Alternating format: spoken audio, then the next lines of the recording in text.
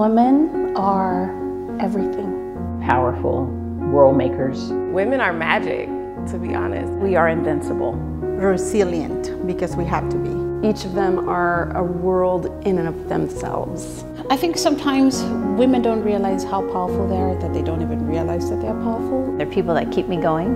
In all honesty, they're amazing. They're asked to do just about everything. I am always in awe of women in their ability to organize, um, to look at problems and figure out how do we solve it. I truly believe that without women, our world does not function.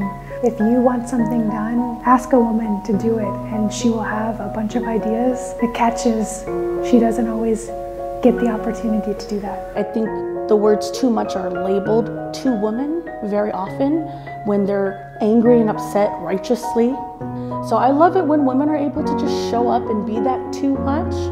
I love their softness, their strength. At least as a black woman, I think we're so busy trying to be strong. And so I really love to see the softer aspects. I really admire women who um, speak truth to power. Nothing makes me feel more excited than when I know that I'm cheering someone on and I know that they're doing the same for me.